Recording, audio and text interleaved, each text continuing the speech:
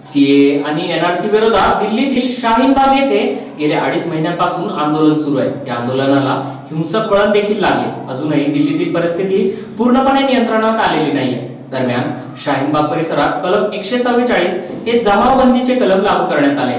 शाहीनबाग परिसरात कोणीही एकत्र जमू नये तसेच कोणीही आंदोलन करू नये असे दिल्ली पोलिसांनी नोटिशीद्वारे बजावले. हा आदेश न मानल्यास कायदेशीर कारवाई केली जाणार आहे. शाहीनबाग येत गेल्या अडीच महिन्यांपासून महिलांचे धरणे आंदोलन सुरू आहे.